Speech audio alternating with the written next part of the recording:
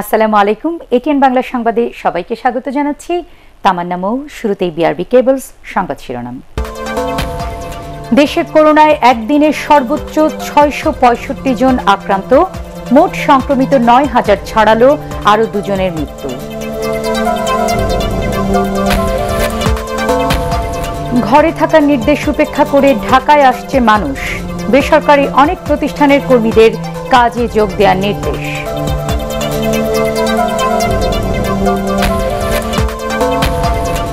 অনিশ্চয়তায় দেশের প্রায় সাড়ে চার কোটি শিক্ষার্থী গণপরিবহন চালু হলে দেয়া হবে এসএসসি পরীক্ষার ফলাফল।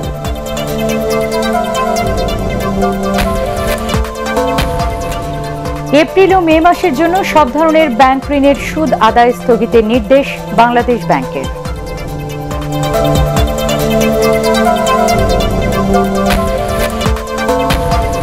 এবং যুক্তরাষ্ট্রে প্রতিদিনই ছাড়িয়ে যাচ্ছে করোনা আক্রান্ত ও মৃত্যুর রেকর্ড। মারা গেছে আরও সাত বাংলাদেশি। এবার পুরো সংবাদ। দেশে গত চব্বিশ ঘন্টায় করোনা ভাইরাসের সর্বোচ্চ ছয়শো পঁয়ষট্টি জন আক্রান্ত হয়েছেন। পাঁচ হাজার তিনশো আটষট্টি জনের নমুনা শনাক্ত করে প্রায় এগারো শতাংশের করোনা পজিটিভ পাওয়া যায়। এ নিয়ে মোট আক্রান্ত হয়েছেন নয় হাজার চারশো পঞ্চান্ন জন।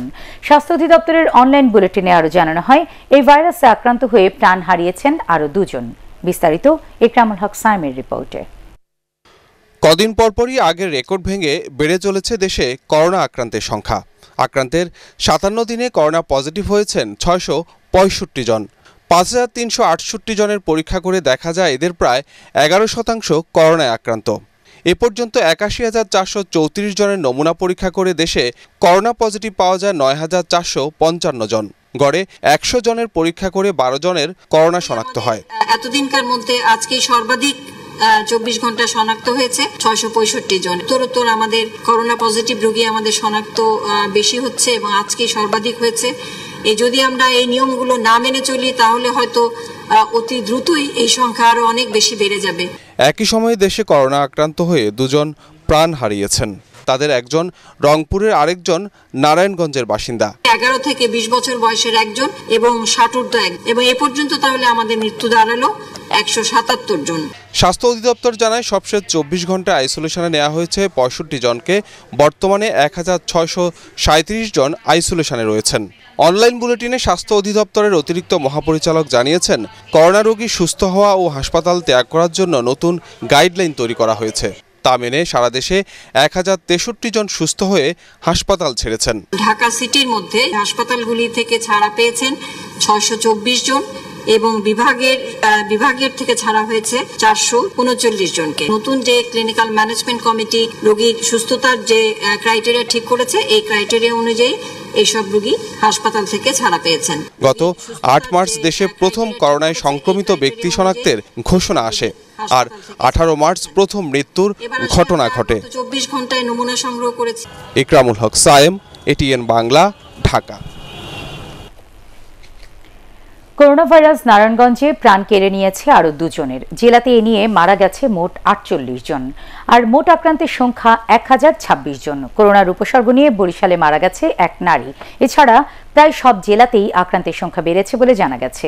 প্রতিনিধিদের তথ্যচিত্রের ভিত্তিতে রিপোর্ট করছেন মইনুল হাসান। নারায়ণগঞ্জে দিন দিন বাড়ছে করোনা ভাইরাসে মৃত্যু ও আক্রান্তের সংখ্যা। নতুন করে দুইজন প্রাণ হারানো সহ পঁচিশ জন আক্রান্ত হওয়ার খবর নিশ্চিত করেছে জেলা সিভিল সার্জন কার্যালয়। এই জেলাতেই আটচল্লিশ জনের মৃত্যুসহ আক্রান্ত হয়েছে এক হাজার ছাব্বিশ জন। তবে আসার কথা এরই মধ্যে সুস্থ হয়েছেন বান্ন জন। শিল্পাঞ্চলে তিনশো গার্মেন্টস চালু হওয়ায় শহরে জনসমাগম বেড়ে যাওয়ায় নতুন করে উদ্বেগ দেখা দিয়েছে। বরিশাল শেরে বাংলা মেডিকেল কলেজ হাসপাতালে করোনা উপসর্গ নিয়ে চল্লিশ বছর বয়সী এক নারীর মৃত্যু হয়েছে।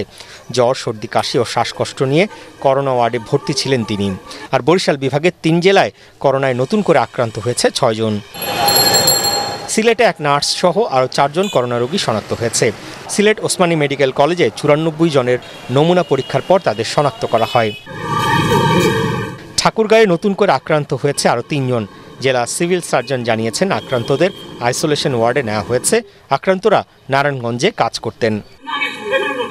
খুলনায় দুজন করোনা রোগী শনাক্ত হয়েছে। খুলনার civil surgeon doctor Sujat Ahmed জানান, আক্রান্ত দুই নারী গার্মেন্টস কর্মী নারায়ণগঞ্জ থেকে খুলনার নিজ গ্রামে আসার পর তাদের হোম কোয়ারেন্টিনে রাখা হয়। জামালপুরে নতুন করে আরও সাতজন করোনায় আক্রান্ত হয়েছে। এ নিয়ে জেলায় আক্রান্তের সংখ্যা দাঁড়াল চুয়াত্তর জনে। নতুন আক্রান্তদের মধ্যে সহকারী কমিশনার, পাঁচ স্বাস্থ্যকর্মী ও নারায়ণগঞ্জ ফেরত একজন রয়েছে। ময়মনসিংহে এক নার্স সহ চার স্বাস্থ্যকর্মী করোনায় আক্রান্ত হয়েছে। এ নিয়ে হাসপাতালে কর্মরত একত্রিশ চিকিৎসক, ষাট স্বাস্থ্যকর্মী ও স্টাফ আক্রান্ত হয়েছেন। রংপুরের মিঠাপুকুর উপজেলা স্বাস্থ্য কমপ্লেক্সে সুরক্ষা সরঞ্জাম ছাড়াই জীবনের ঝুঁকি নিয়ে কাজ করছেন স্বাস্থ্যকর্মীরা। এ নিয়ে হাসপাতালের প্রধান ফটকে বিক্ষোভ করে চতুর্থ শ্রেণির কর্মচারীরা। এরই মধ্যে সেখানে কয়েকজন ডাক্তার ও কর্মচারী করোনায় আক্রান্ত হওয়ায় হাসপাতালটি লকডাউন করা হয়েছে। অস্থায়ী ক্যাম্প খুলে জরুরি চিকিৎসা সেবা দেয়া হচ্ছে। এটিএন বাংলায় সংবাদ প্রচারের পরিপ্রেক্ষিতে এক সপ্তাহ প্রায় স্থবির থাকার পর ময়মনসিংহ মেডিকেল কলেজ হাসপাতালে নেত্রকোনা জেলার রোগীদের নমুনা পরীক্ষা শুরু হয়েছে। একশো সাতানব্বই জনের নমুনা পরীক্ষায় নয়জন করোনা রোগী পাওয়া যায়।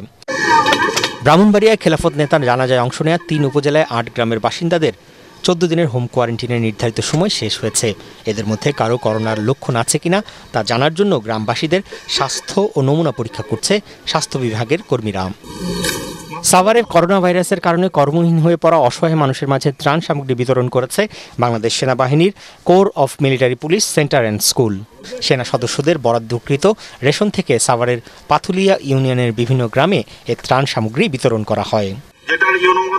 জয়পুরহাটে দেড় হাজার অসচ্ছল আনসার ও ভিডিপি পরিবারের মাঝে চাল, ডাল তেল সহ খাদ্য সামগ্রী বিতরণ করা হয়েছে। মইনুল আহসান এটিএন বাংলা। ঘরে থাকার নির্দেশ উপেক্ষা করে ঢাকায় আসছেন হাজার হাজার মানুষ। বাণিজ্যিকভাবে চলাচল করা ব্যক্তিগত পরিবহনে গায়ে গা ঘেঁষে দীর্ঘ পথ পাড়ি দিয়ে ঢাকায় আসছেন তারা। তাদের মধ্যে অনেকের অভিযোগ, ছুটির আওতায় থাকার পরও বেসরকারি অনেক প্রতিষ্ঠান বাধ্যতামূলকভাবে কাজে যোগ দেওয়ার নির্দেশ দেওয়ায় তারা ঢাকা ফিরতে বাধ্য হচ্ছেন। ফজলে রাব্বির রিপোর্ট। ঢাকামুখী এই মানুষগুলোর সাথে কথা বলে জানা গেল, তারা সবাই করোনা ভাইরাসের সংক্রমণ সম্পর্কে জানেন।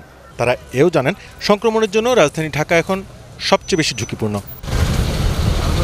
তারপরও স্বাভাবিক সময়ের চেয়ে বহুগুণ বেশি খরচে দলে দলে ঢাকায় আসছেন এসব মানুষ।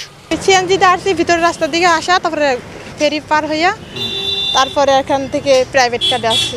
ঢাকায় করোনার কোনো সমস্যা নাই? আপনি যে ঢাকায় আসলেন এই না ইনশাল্লাহ কোনো সমস্যা নেই ভালো আছে। যে আমি যথাযথ পরীক্ষা নিয়ে বের হয়েছি আর ঝুঁকি তো আছে অবশ্যই আছে। ঢাকায় ফেরা এসব মানুষের অনেকেই বললেন কর্মক্ষেত্রে যোগদানের নির্দেশেই ঢাকা ফিরতে বাধ্য হচ্ছেন তারা। এই অফিস থেকে যদি কল করে তাহলে তো আসতেই হবে। আপনি কোথায় কাজ করেন? আমি ন্যাশনাল আইডিয়াল স্কুলে চাকরি করি। যিনি প্রজেক্টের হেড উনি ডেকে পাঠিয়েছে। যেহেতু গার্মেন্টস থেকে বড় শিল্প কারখানাগুলো সব খোলা আর আমাদের মূলত বিজনেস প্রোভাইড সার্ভিস প্রোভাইড করা হচ্ছে সব ইলেকট্রিক্যাল ইউটিলিটি তো দ্যাটস ওয়াই আসা আর মানুষের এই ঢলে বিস্ময় জানান রাজধানীতে ঢোকার মুখে চেকপোস্টে দায়িত্বরত পুলিশ সদস্যরা। পথে নামার সন্তোষজনক কারণ দেখাতে ব্যর্থ ব্যক্তিগত পরিবহনগুলোকে জরিমানা করা ও ফিরিয়ে দিলেও মানুষের ঢল আটকাতে পারছেন না তারা। সাধারণ মানুষের অজুহাতের শেষ নাই বিভিন্ন রকম বিভিন্ন অজুহাতে যাচ্ছে বাট আমরা এটাকে ভ্যালিডেট করে দেখতেছি যে আসলে এটার নির্দিষ্ট কোনো সত্যি কোনো কারণ আছে কি না অন্যান্য জেলা থেকে আসা সাধারণ মানুষের ঢলের পাশাপাশি রবিবার রাজধানীর ভেতরে যানবাহন ও সাধারণ মানুষের অবাধ চলাচল করতে দেখা যায়। করোনা ভাইরাসের সংক্রমণ এড়াতে সরকারের ঘরে থাকার নির্দেশনা উপেক্ষা করেই রাস্তায় বেরিয়ে এসেছে সাধারণ মানুষ। যেহেতু স্বাস্থ্য বিশেষজ্ঞরা শুরু থেকেই বলে আসছিলেন করোনা ভাইরাস মোকাবেলার অন্যতম প্রধান শর্ত হচ্ছে ঘরে থাকা। তাই সাধারণ মানুষের এই ঘর থেকে বেরিয়ে আসায় করোনা ঝুঁকি আরও বহুগুণে বেড়ে গেল কথা বলাই যায়। ফজল রাব্বি, এটিএন বাংলা, ঢাকা। তৈরি পোশাক কারখানায় শ্রমিকদের স্বাস্থ্য সুরক্ষা নিশ্চিত করতে না পারলে পরিস্থিতি খারাপ হতে পারে বলে সতর্ক করে দিয়েছেন স্বাস্থ্যমন্ত্রী জাহিদ মালেক। তিনি এও বলেন, বিপুল সংখ্যক মানুষ করোনায় আক্রান্ত হলে চিকিৎসা দেবা দেওয়ার জায়গাও তখন পাওয়া যাবে না। সচিবালয়ে কলকারখানা খোলার বিষয়ে এক বৈঠক শেষে তিনি এসব কথা বলেন। এ সময় শ্রমিকদের আসা যাওয়া ও থাকার জায়গার বিষয়ে গুরুত্ব দেওয়ার কথাও বলেন স্বাস্থ্যমন্ত্রী।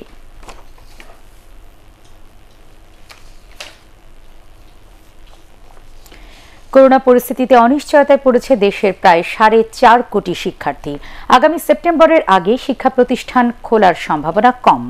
এর আগে হচ্ছে না এইচএসসি পরীক্ষাও। তবে গণপরিবহন চালু হলে দেয়া হবে এসএসসি পরীক্ষার ফলাফল। এটিএন বাংলাকে এসব তথ্য জানিয়েছেন আন্তঃশিক্ষা বোর্ডের সভাপতি ও ঢাকা শিক্ষা বোর্ডের চেয়ারম্যান অধ্যাপক জিয়াউল হক। দীর্ঘ বিরতি পুষিয়ে নিতে বিশেষ পরিকল্পনা নেওয়ার পরামর্শ দিয়েছেন বিশ্লেষকরা। আরও জানাচ্ছেন মাহবুব কবির চপল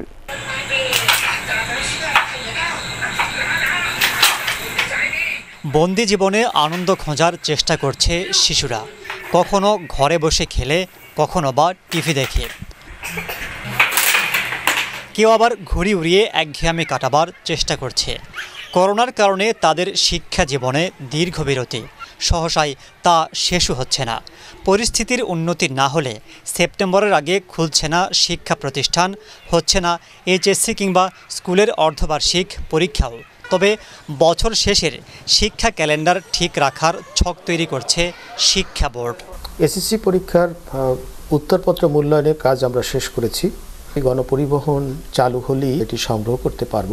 এরপরে বিশ দিনের মধ্যে পরীক্ষার ফলাফল প্রদান করতে পারব। আগামী যে পরীক্ষাগুলি আছে, বিশেষ করে জেএসসি পরীক্ষা কিংবা দু হাজার একুশের এসএসসি এবং এসএসসি পরীক্ষা এই পরীক্ষাগুলির উপরে এই দীর্ঘ বন্ধ কি প্রভাব পড়বে সেটি নিয়ে আমরা আলাপ আলোচনা করছি এবং বিজ্ঞজনের মতামত নিয়ে নিশ্চয়ই দীর্ঘমেয়াদী একটি সমাধানের পথ খুঁজে পাব। শিক্ষা প্রতিষ্ঠান বন্ধ থাকলেও শিক্ষার্থীদের কাছ থেকে সার্ভিস চার্জ আদায় করা হচ্ছে। নেওয়া হচ্ছে বেতনও। আমরা বেসরকারি শিক্ষা প্রতিষ্ঠানগুলিকে অনুরোধ জানিয়েছি যেন এ সময়ে অভিভাবকদের নিকট থেকে বেতন নেওয়া নেওয়ার জন্য চাপ প্রয়োগ না করে। আর নয় যোগ করলে হচ্ছে আঠেরো। করোনার ছুটিতে সংসদ টিভির মাধ্যমে প্রথম থেকে দশম শ্রেণি পর্যন্ত ক্লাস নেওয়া হচ্ছে। তবে এর মান নিয়ে এরই মধ্যে প্রশ্ন উঠেছে। শিক্ষা বিষয়ে যেগুলো করানো হচ্ছে টিভি অনলাইন অথবা মোবাইল ফোনেও সেগুলোর মানটা যেন যতটুকু সম্ভব নিশ্চিত করা যায়। পরিকল্পনা আমাদের করতেই হবে।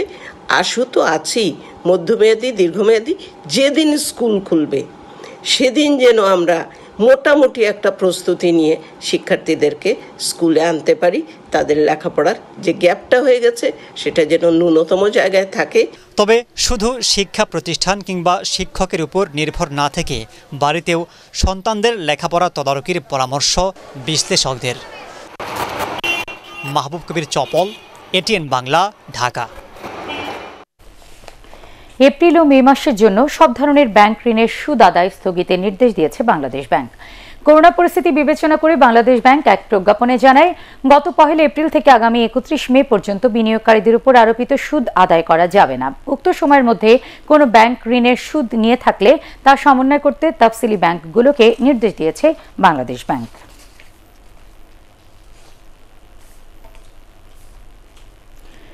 নির্দেশ অমান্য করে করোনা মহামারীতেও কয়েকটি ব্যাংক ক্রেডিট কার্ডে ঋণের অতিরিক্ত সুদ নিচ্ছে।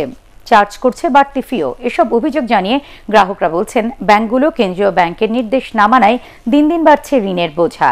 এমন পরিস্থিতিতে চক্রাকারে নেয়া সুদের অর্থ অ্যাকাউন্টে ফেরত দেওয়ার পরামর্শ দিয়েছেন অনেকে। আরও জানাচ্ছেন শরফুল আলম। করোনা ভাইরাসের কারণে স্থবির জনজীবন। নেই আগের মতো ব্যবসা বাণিজ্যও। সীমিত আকারে চলছে ব্যাংক লেনদেন। এমন পরিস্থিতিতে পনেরোই এপ্রিল বাংলাদেশ ব্যাংক ক্রেডিট কার্ডের উপর বিলম্ব ফি, নিয়মিত সুদের উপর অতিরিক্ত বা চক্রাকারে সব ধরনের সুদ একত্রিশে মে পর্যন্ত মৌকুফের নির্দেশনা দিয়ে প্রজ্ঞাপন জারি করে।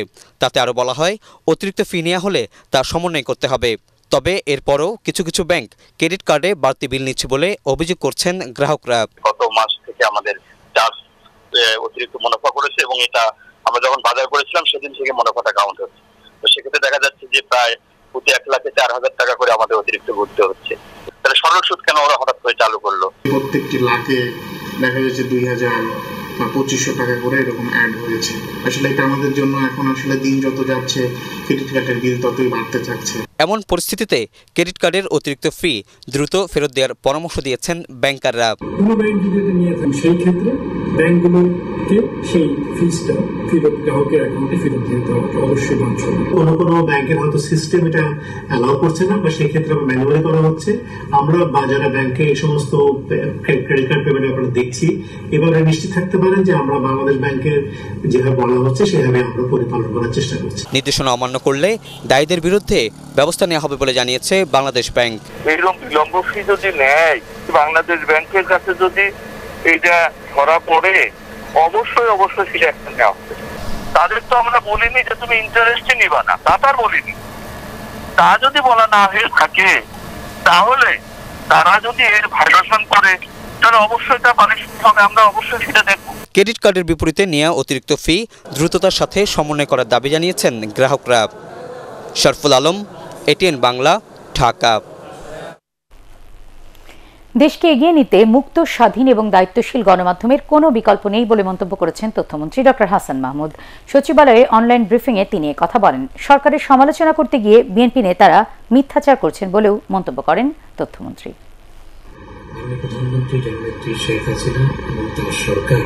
গণমাধ্যমের বিস্তৃতি এবং বিশ্বাস করে, সেই কারণেই গণমাধ্যমের ব্যাপক বিস্তৃতি ঘটেছে গত এগারো বছরে বাংলাদেশে।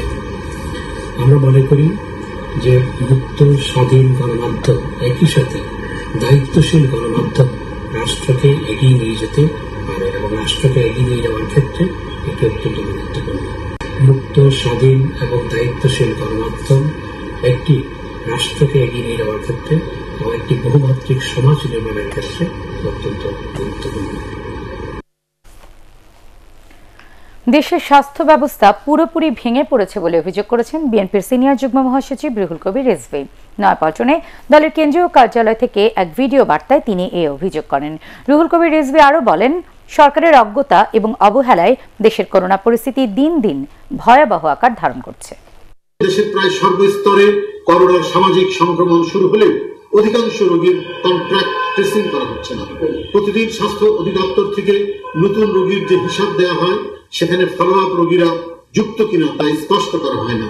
সন্দেহজনক রোগীরা ফোন করে দশ দিন অপেক্ষা করেও নমুনা দিতে পারছে না। চোদ্দ দিনের জায়গায় সতেরো দিন হাসপাতালে থেকেও দ্বিতীয় পর্যায়ে নমুনা সংগ্রহ ও পরীক্ষা করতে পারেন। এই অবস্থায় গোপনে হাসপাতাল ত্যাগ করছেন অনেক রোগী। প্রতিদিনই করোনা ভাইরাসে আক্রান্ত ও মৃত্যুর রেকর্ড ছাড়িয়ে যাচ্ছে যুক্তরাষ্ট্র। দেশটিতে গত চব্বিশ ঘন্টায় আরও সাত বাংলাদেশির মৃত্যু হয়েছে। এ নিয়ে যুক্তরাষ্ট্রে মোট দুশো জন বাংলাদেশির মৃত্যু হল। নিউ ইয়র্ক থেকে কানদত্তের রিপোর্ট জানাচ্ছেন জাহিদুল আলম। যুক্তরাষ্ট্রে ভালো নেই প্রবাসী বাংলাদেশিরা। দেশটিতে গত ছেচল্লিশ দিনে প্রকৌশলী, চিকিৎসক, পুলিশ, সাংবাদিক, কমিউনিটি নেতা ও সাংস্কৃতিক ব্যক্তিত্ব সহ প্রাণ হারিয়েছেন দুশো জন বাংলাদেশি। করোনা পরিস্থিতির মাঝে এবছর যুক্তরাষ্ট্রের ধর্মপ্রাণ মুসল্লিরা রোজা পালন করছেন একটু ভিন্নভাবে। নেই রমজানের আগের সেই আমেজ। সেই সাথে সংকট রয়েছে খাদ্য সরবরাহেরও। অনেক জিনিসই আছে যেগুলি রোজার মধ্যে আমরা প্রচুর পরিমাণে মানুষ চায় কিন্তু এই জিনিসগুলি সাপ্লায়াররা যেহেতু দিতে পারতেছে না একটু দামটা বেড়ে গেছে একটু দিতে আমাদের কষ্ট হচ্ছে। করোনার প্রাদুর্ভাবে সামাজিক দূরত্ব বজায় রেখে ইফতার কিনছেন স্থানীয়রা। নিউ ইয়র্কের বাংলাদেশি অঞ্চল জ্যাকসন হাইটস জ্যামাইকা ব্রুকলিন সহ সব জায়গায় রেস্তোরাঁগুলোতে ক্রেতার সংখ্যাও বেশ কম। তবে সামনের দিনগুলোতে ক্রেতার সংখ্যা বাড়বে বলে আশা করছেন ব্যবসায়ীরা।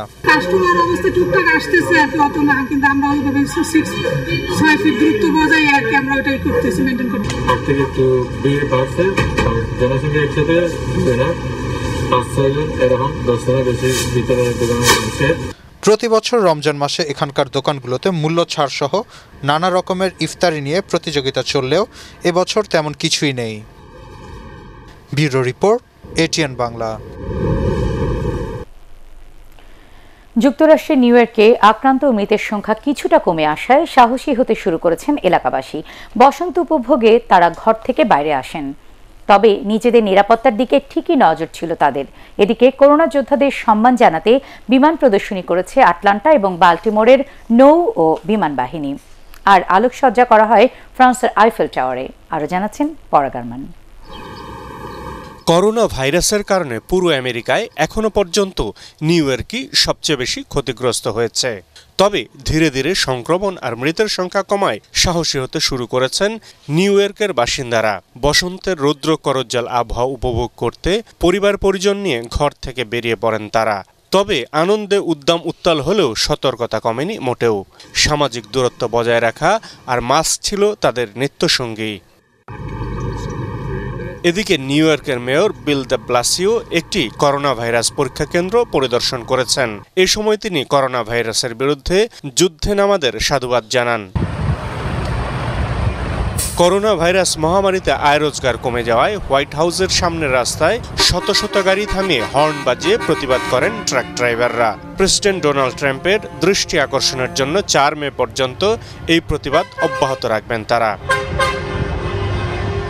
করোনা ভাইরাসের বিরুদ্ধে যুদ্ধরত চিকিৎসক দলকে সম্মান জানাতে আটলান্টা ও বাল্টিমোরের বিমান বাহিনীর থান্ডারবার্ড এবং নৌবাহিনীর ব্লু এঞ্জেলসের কয়েকটি বিমান শহরের হাসপাতাল অঞ্চলগুলোর উপর দিয়ে ডিসপ্লে প্রদর্শন করে।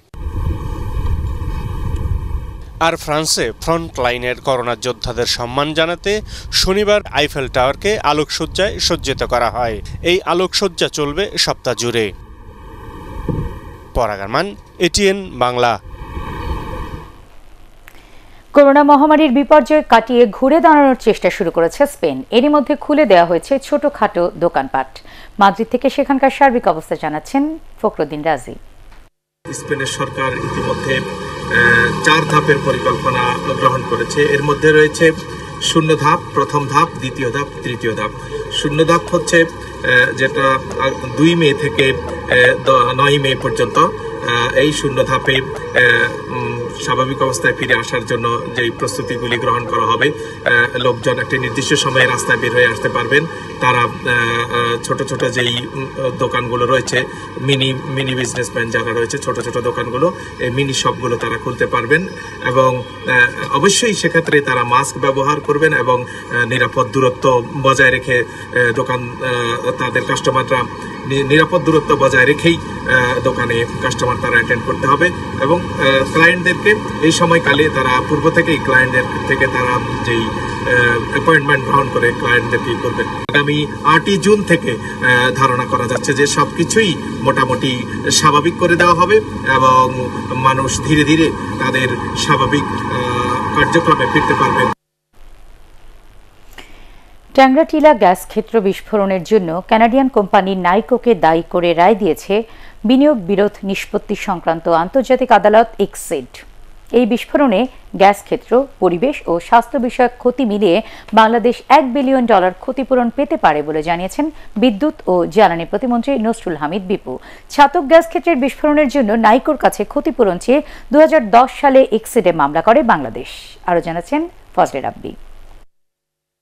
অনুসন্ধান কূপ খননকালে দুই হাজার পাঁচ সালের সাত জানুয়ারি দুই দফা বিস্ফোরণ ঘটে ছাতকের ট্যাংরাটিলা গ্যাস ক্ষেত্রে। ওই দুর্ঘটনার জন্য কানাডিয়ান কোম্পানি নাইকোর কাছে সাতশো ছেচল্লিশ কোটি টাকা ক্ষতিপূরণ দাবি করে পেট্রোবাংলা। ক্ষতিপূরণ দিতে অস্বীকার করায় দুই হাজার দশ সালে ইক্সিডে মামলা করে বাংলাদেশ। দীর্ঘ যাচাই বাছাই ও শুনানি শেষে ওই দুর্ঘটনার জন্য নাইকোকে দায় করে রায় দিল আন্তর্জাতিক এই আদালত। অনলাইন সংবাদ সম্মেলনে বিদ্যুৎ ও জ্বালানি প্রতিমন্ত্রী নসরুল হামিদ জানান, ক্ষতিপূরণের পরিমাণ এক বিলিয়ন ডলারের কাছাকাছি হবে। এখন আমরা আরও ডেপতে যাব। আমরা পরিবেশের উপর দীর্ঘমেয়াদী যে ক্ষতিগ্রস্তটা ক্ষতিটা হবে এবং যা হয়ে আসছে, দশ বছরে তো অনেক জায়গায় অনেক ডেটা রাখা হয় নাই। ডেটাগুলো আমরা যেহেতু ষোলো সালের পরের থেকে হয়তো কিছু কিছু ডেটা আমাদের আছে, কিন্তু তার আগে ডেটা এরকম ভাবে রাখা হয় নাই। তো এই ডেটাগুলো নিয়ে আমরা হয়তো আমরা এক্সিডে আবার ফিরে আমরা দাবি করব। এ সময় মামলার আইনজীবী জানান ইক্সিডের রায়ের ফলে নাইকোর দাবি করা পাওনা পরিশোধ করতে হবে না বাংলাদেশকে। এছাড়া ব্লক নয় বা কুমিল্লার নাইকোর সম্পত্তি বাংলাদেশ নিয়ে নিতে পারবে। যে এই রায়টা যেটা এসছে রায় বলেছে এটার সাথে আরও ক্ষতি আছে বাংলাদেশে। যেরকম পরিবেশের ক্ষতি স্বাস্থ্যের ক্ষতি ওই ক্ষতিগুলোর পরিমাণটাও আমাদের বলতে বলছে যে ক্ষতির পরিমাণটা কত হতে পারে। নাইকোর সমস্ত অ্যাসেটস বাংলাদেশের যা সম্পত্তি আছে ব্লক নাইন ওইটার মধ্যে পড়ে, ওইটা কিন্তু সিজ করা আছে। তো এই আমরাও ওনারাও বলছে যে নাইকোর ব্লক নাইনের ছাড়া আর তো কোনো ওদের এখানে সম্পত্তি নাই। তো আমরা যে ক্ষতিপূরণটা পাবো ব্লক নাইন থেকেই হয়তো আমাদের ওই ক্ষতিপূরণটা নিতে হবে। এই মামলা ছাড়াও নাইকোর সঙ্গে অস্বচ্ছ চুক্তির মাধ্যমে রাষ্ট্রের বিপুল পরিমাণ আর্থিক ক্ষতি ও দুর্নীতির অভিযোগে দু হাজার সাত সালের নয় ডিসেম্বর খালেদা জিয়া সহ পাঁচজনের বিরুদ্ধে আরেকটি মামলা করে দুদক। ওই চুক্তির মাধ্যমে রাষ্ট্রের প্রায় তেরো হাজার সাতশো সাতাত্তর কোটি টাকা ক্ষতির অভিযোগ আনা হয়। এটিএন বাংলা, ঢাকা। নিখোঁজ ফটো সাংবাদিক ও দৈনিক পক্ষকালের সম্পাদক শফিকুল ইসলাম কাজলকে যশোরের বেনাপোল সীমান্ত থেকে উদ্ধারের পর কারাগারে পাঠানোর নির্দেশ দিয়েছেন আদালত। দেড় মাসেরও বেশি সময় নিখোঁজ থাকার পর বিজিবি শনিবার দিবাগত রাতে বেনাপোল সীমান্ত থেকে তাকে উদ্ধার করে। বিজিবি জানিয়েছে, শনিবার রাতে সীমান্ত এলাকার সাদিপুরের একটি মাঠ থেকে তাকে উদ্ধার করে একুশ ব্যাটালিয়নের টহল দল। পরে অবৈধ অনুপ্রবেশের অভিযোগে তাকে পোর্ট থানায় হস্তান্তর করা হয়। এরপর তাকে যশোর আদালতে হাজির করা হয়। বিকেলে শফিকুল ইসলাম কাজলকে কারাগারে পাঠানোর নির্দেশ দেন যশোরের senior judicial magistrate Manjurul Islam. অবৈধ অনুপ্রবেশের দায়ে তার বিরুদ্ধে তারা লিখিতভাবে অভিযোগ দায়ের করে। এই অবৈধ অনুপ্রবেশের অভিযোগে তার বিরুদ্ধে মামলা হয়েছে। আমরা তাকে বিজ্ঞ আদালতে শপথ করব। হ্যাঁ জানা গেল যে সে ঢাকার একটা পত্রিকার সাংবাদিক, ফটো সাংবাদিক। এ পর্যন্ত আমরা জানতে পেরেছি। সেনাবাহিনীর তত্ত্বাবধানে রাঙ্গামাটির সাজেক থেকে যতীন ত্রিপুরা নামে এক যুবককে উন্নত চিকিৎসার জন্য বিমান বাহিনীর হেলিকপ্টারে চট্টগ্রামে নেওয়া হয়েছে। গত উনত্রিশ এপ্রিল জুম চাষের সময় পাহাড় থেকে পড়ে আহত হন তিনি। জুপুই বিজেপি ক্যাম্পে তাকে প্রাথমিক চিকিৎসা দেওয়া হয়। তবে আঘাত গুরুতর হওয়ায় সেনাবাহিনীর তত্ত্বাবধানে তাকে প্রথমে চট্টগ্রাম সেনানিবাস এবং পরে উন্নত চিকিৎসার জন্য চট্টগ্রাম মেডিকেল কলেজ হাসপাতালে নেওয়া হয়। করোনা ভাইরাসের প্রাদুর্ভাব দীর্ঘ হলে দেশের প্রত্যেক জেলায় নমুনা সংগ্রহ ও পরীক্ষার ব্যবস্থা করবে সরকার। এজন্য সব জেলায় ভাইরাস শনাক্তকরণ মেশিন বসানোর পরিকল্পনা রয়েছে বলে জানিয়েছেন তথ্য প্রতিমন্ত্রী ডক্টর মুরাদ হাসান। জামালপুর সার্কিট হাউসে চিকিৎসক ও নার্স সহ স্বাস্থ্যকর্মীদের সাথে মত বিনিময় সভায় তিনি এসব কথা বলেন। জীবনের ঝুঁকি নিয়ে করোনা প্রতিরোধে নিয়োজিত এসব সম্মুখ যোদ্ধাদের সাধুবাদ জানান তথ্য প্রতিমন্ত্রী। সরকার তাদের পাশে রয়েছে এবং থাকবে বলেও জানান তিনি।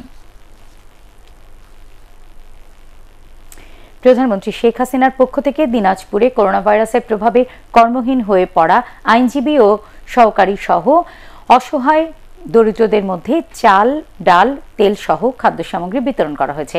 আইনজীবী সমিতি চত্বরে খাদ্য সামগ্রী বিতরণ করার সময় জাতীয় সংসদের হুইপ ইকবালুর রহিম বলেন, প্রতিটি অসহায় মানুষের ঘরে খাদ্য সামগ্রী পৌঁছে দেওয়া হবে। দিনাজপুরের জেলা ও দায়রা জজ Aziz Ahmed Bhuiyan, chief judicial magistrate Ayazuddin এ সময় অন্যান্যের মধ্যে উপস্থিত ছিলেন। ঠাকুরগাঁওয়ে বেকার ও অসহায় মানুষের মধ্যে বিএনপি মহাসচিব মির্জা ফখরুল ইসলাম আলমগীরের পক্ষে খাদ্য সহায়তা প্রদান করা হয়েছে। ঠাকুরগাঁও সদর উপজেলার সাতটি ইউনিয়নে এই খাদ্য সহায়তা দেওয়া হয়। প্রায় দেড় হাজার দরিদ্র পরিবারের মধ্যে সব ত্রাণ বিতরণ করেন স্থানীয় বিএনপি নেতারা। এই সংকটের মধ্যে বিএনপি কর্মীদের অসহায় মানুষের পাশে থাকার আহ্বান জানান দলটির নেতারা। করোনা ভাইরাসের কারণে ক্ষতির মুখে পড়ায় সব শেয়ার বিক্রি করে দিয়েছে যুক্তরাষ্ট্রের খ্যাতনামা কোম্পানি বার্কশায়ার হ্যাথাওয়ে। প্রতিষ্ঠানটির মালিক, বিলিয়নিয়ার ওয়ারেন বাফেট জানান, বিশ্ব পরিস্থিতি পরিবর্তিত হওয়ায় দেশীয় চারটি এয়ারলাইন্স কোম্পানির কাছে সব শেয়ার বিক্রি করে দিয়েছেন তিনি। বিমান খাতে বিনিয়োগ ভুল সিদ্ধান্ত ছিল বলেও স্বীকার করেন তিনি। এর আগে বার্কশায়ার হ্যাথাওয়ে জানিয়েছিল, বছরের প্রথম তিন মাসেই তাদের ক্ষতি হয়েছে পঞ্চাশ বিলিয়ন ডলার। সৌদি আরবে প্রাণঘাতী করোনা ভাইরাসে গত চব্বিশ ঘন্টায় নতুন করে আক্রান্ত হয়েছেন এক হাজার পাঁচশো বাউন্ন জন। এ নিয়ে দেশটিতে মোট আক্রান্তের সংখ্যা বেড়ে দাঁড়িয়েছে সাতাশ হাজার এগারো জনে। আর নতুন করে করোনায় মৃত্যু হয়েছে আট জনের। এ পর্যন্ত সৌদি আরবে করোনায় মারা গেছে একশো চুরাশি জন। অন্যদিকে করোনা থেকে সুস্থ হয়েছেন চার হাজার একশো চৌত্রিশ জন। সৌদি স্বাস্থ্য মন্ত্রণালয় এসব তথ্য নিশ্চিত করেছে। বলিভিয়ায় বিমান বাহিনীর একটি উড়োজাহাজ বিধ্বস্ত হয়ে ছয় জন মারা গেছে।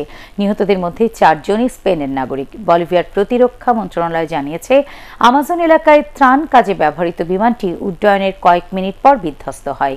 বিমানের পাইলট ছিলেন বিমান বাহিনীর লেফটেন্যান্ট পদমর্যাদার এক কর্মকর্তা। করোনা ভাইরাস পরীক্ষার নমুনা নিয়ে সান্তাক্রুজ নগরীতে যাচ্ছিলেন তারা। দুর্ঘটনার কারণ খতিয়ে দেখছেন তদন্তকারীরা।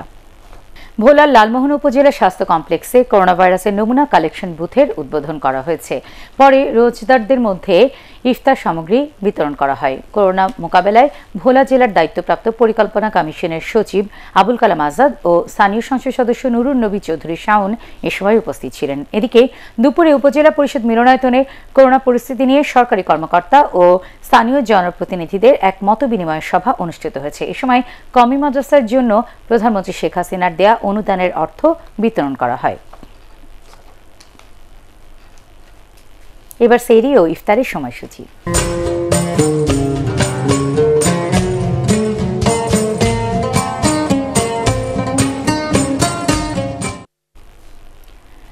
আজ ঢাকায় সেরি শেষ সময় রাত তিনটা চুয়ান্ন মিনিট, রাজশাহীতে রাত তিনটা উনষাট মিনিট, সিলেটে তিনটা পঁয়তাল্লিশ মিনিট চট্টগ্রামের রাত তিনটা বাউন্ন মিনিট, খুলনায় চারটা, বরিশালে তিনটা ছাপ্পান্ন মিনিট, রংপুরে তিনটা তিপ্পান্ন মিনিট এবং ময়মনসিংহে সেইরি শেষ সময় রাত তিনটা একান্ন মিনিট। আগামীকাল ঢাকা ইফতার সন্ধে ছটা তেত্রিশ মিনিটে। রাজশাহীতে সন্ধ্যা ছটা চল্লিশ মিনিটে, চট্টগ্রামে ছটা চব্বিশ মিনিট, সিলেটে ছটা আঠাশ মিনিট, খুলনায় ছটা বত্রিশ মিনিট, বরিশালে ছটা একত্রিশ মিনিট, রংপুরে ছটা চল্লিশ মিনিট এবং ময়মনসিংহে ইফতার সন্ধে ছটা চৌত্রিশ মিনিটে। করোনা ভাইরাস প্রতিরোধে রাজধানীর পশ্চিম শেওড়াপাড়ায় ভাইরাস ডিসইনফেকশন চেম্বার স্থাপন করেছে স্থানীয় যুব সংঘ রান টোয়েন্টি ফাইভ। ঢাকা উত্তর সিটি কর্পোরেশনের চোদ্দ number ward councillor Humayun Rashid Jony চেম্বারের উদ্বোধন করেন। এই চেম্বারের ভেতর দিয়ে গেলে মানুষের গায়ে লেগে থাকা জীবাণু স্প্রের মাধ্যমে ধ্বংস হবে। জরুরি প্রয়োজনে বাইরে বের হওয়া মানুষের সুরক্ষার কথা ভেবেই এই উদ্যোগ নেওয়া হয়েছে। স্বাস্থ্য অধিদপ্তরের অনুমতি পেলে পরবর্তীতে বিভিন্ন এলাকা এবং বাজারে এ ধরনের চেম্বার বসানোর পরিকল্পনার কথা জানিয়েছে ক্লাবটি। সাবেক বাংলাদেশ অধিনায়ক মুশফিকুর রহিমের ইতিহাস গড়া ব্যাটটি নিলাম থেকে কিনতে চান বাংলাদেশের ওয়ানডে অধিনায়ক তামিম ইকবাল। দু সালে শ্রীলঙ্কার বিপক্ষে গলে নিজের ও দেশের হয়ে প্রথম ডাবল সেঞ্চুরি করেছিলেন মুশফিক। এবার সেই স্মারক করোনা ভাইরাসের দুর্গতদের সহায়তায় নিলামে তুলবেন তিনি। এ কথা গত উনিশ এপ্রিলে জানিয়েছিলেন মুশফিক। শনিবার রাতে ইনস্টাগ্রামে মুশফিকের সঙ্গে এক আড্ডায় সেই ব্যাটটি কেনার ইচ্ছা প্রকাশ করেন তামিম। দেশের ওপেনার জানান সাধ্যের মধ্যে থাকলে তিনি এই নিলামে অংশ নেবেন। এ সময় মুশফিক সামর্থ্যবান সবাইকে অসহায়দের সহায়তার জন্য বেশি মূল্যে ব্যাটটি কেনার আহ্বান জানান।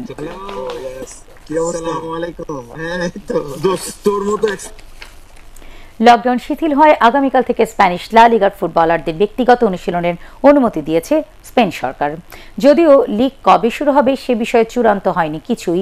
আর অনুশীলন শুরুর আগে লা লিগায় অংশগ্রহণকারী প্রত্যেক ফুটবলারের কোভিড নাইন্টিন পরীক্ষা বাধ্যতামূলক করেছে দেশটির সরকার। সেই পরীক্ষায় সফল হলে তবেই অনুশীলনে ফিরতে পারবেন লিওনেল মেসি, লুইস সোয়ারেজরা। এ পর্যন্ত স্পেনে করোনা ভাইরাসে পঁচিশ হাজারেরও বেশি মানুষ প্রাণ হারিয়েছেন। শেষ করার আগে বিআরবি কেবল সংবাদ শিরোনাম আরও একবার। দেশে করোনায় একদিনে সর্বোচ্চ ছয়শো পঁয়ষট্টি জন আক্রান্ত, মোট সংক্রমিত ন হাজার ছাড়ালো, আরও দুজনের মৃত্যু।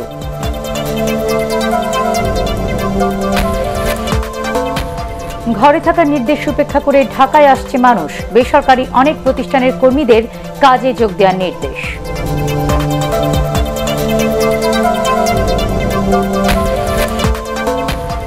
অনিশ্চয়তায় দেশের প্রায় সাড়ে চার কোটি শিক্ষার্থী গণপরিবহন চালু হলে দেয়া হবে এসএসসি পরীক্ষার ফলাফল।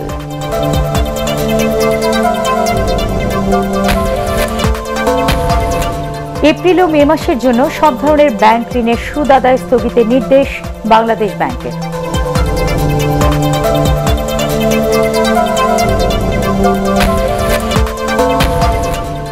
এবং যুক্তরাষ্ট্রে প্রতিদিনই ছাড়িয়ে যাচ্ছে করোনা আক্রান্ত মৃত্যুর রেকর্ড। মারা গেছে আরও সাত বাংলাদেশি।